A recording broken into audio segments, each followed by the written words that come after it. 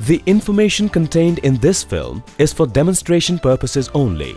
Healthcare workers must follow the procedures laid down by their employers. The opening is facilitated by peel pack system.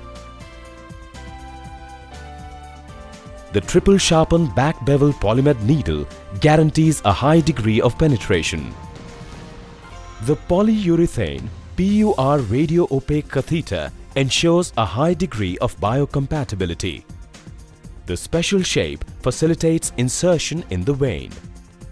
The pre-folded wings make it easier to hold the device while the special shape of the cap improves hold and makes opening and closing easier. IV cannulation is carried out in the normal way. No variation in the usual procedure is necessary as the safety mechanism does not alter the way in which the device is used. A hydrophobic filter prevents blood leaking from the device during cannulation. Once cannulation is complete, the operator can remove the needle holder in the usual way. The special shape and the properties of the material reduce friction so that the device slips in easily.